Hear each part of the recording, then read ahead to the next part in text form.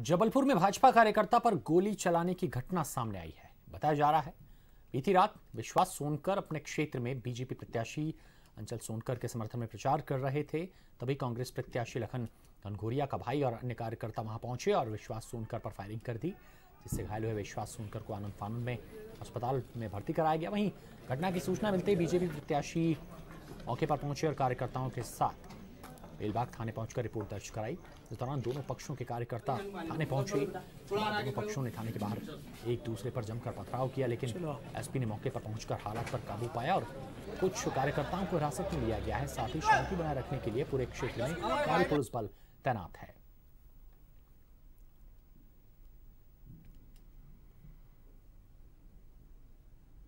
जय गंगोरिया और बिरजू गंगोरिया आए वहाँ पे गाली गुप्तार किया और फायरिंग किया। मेरे भाई को गोली लगी है। किस बात की हुई? ये हमको नहीं मालूम। थाने में आया थाने पीछे पीछे वहाँ से जय गौरिया भरत गौरिया और एक जय और एक अपने वीरेंद्र गौरिया ये सब के सब दो ढाई सौ लोग आए वहाँ से बम का गोली चलाते हुए। तो थाने के अंदर तक उसमें मारपीट पुलिस वालों को मारपीट कर दिए पुलिस वालों को मारा है और यहाँ तक गोलियाँ बम चलाए हैं। अपने आप को बचाने के लिए इस तरीके की घटना को अंजाम दे सकते हैं।